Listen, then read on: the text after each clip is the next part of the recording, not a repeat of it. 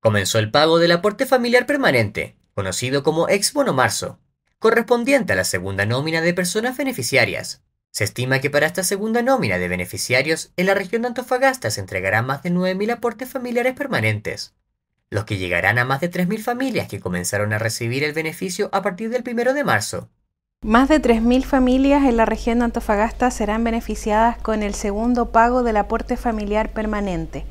Este es un beneficio que no requiere postulación, ya que el Estado, con los datos que tiene disponible, lo paga de forma automática si es que se cumplen con los requisitos legales.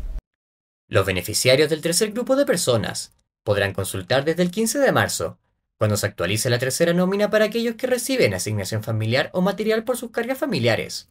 incluidos pensionados de instituciones distintas al Instituto de Previsión Social. Y para este 2024, el monto del aporte familiar permanente es de 61.763 pesos, por subsidio familiar, por carga familiar o por familia. Para conocer si es que se cumplen con los requisitos, la fecha y forma de pago de cada persona, se debe consultar en la página aportefamiliar.cl o en los portales de chileatiende.cl.